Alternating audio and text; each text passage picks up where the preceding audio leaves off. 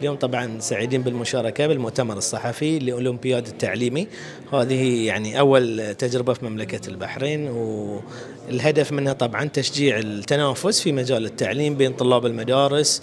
وطبعا فكرة المسابقة راح تكون تتضمن عدة مسارات يمتحنون فيها الطلاب وفي فائزين من خمس فئات. وإن شاء الله طبعا في النهاية يخدم التعليم في مملكة البحرين. آه هذه النوع من الفعاليات جدا مهم لمملكة البحرين آه حيث أن إحنا نتطلع إلى تجربة جديدة آه ونقلة نوعية في المجال التعليمي.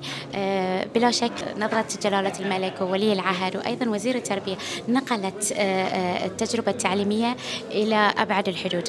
آه اليوم إحنا نشوف أن هذه النوع من الفعاليات راح يعطي آه طابع جديد ويعطي آه دفعة جديدة للطلاب المقبلين على الدراسات الجامعية. آه إحنا اليوم نتطلع أن يكون هناك استدامة للعملية التعليمية.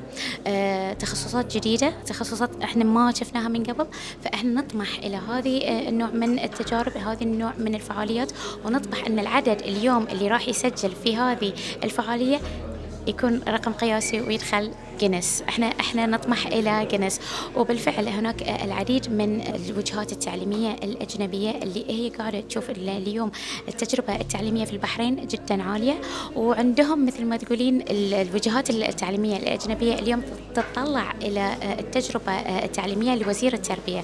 وزير التربية بالنسبة لهم عندنا اليوم هو يعني مثل ما تقولين شيء جديد شيء نابع شيء غريب. فهم قاعدين يشوفون إن التجربة البحرينية جدا ناجحة التعليم في البحرين عندنا جدا ناجح وهم قاعدين يبغون يطبقون هذا النوع من من الابروتش مثل ما نقول فإحنا نطمح إن هذه الفعالية تنقل التجربة البحرينية في التعليم إلى أبعد الحدود.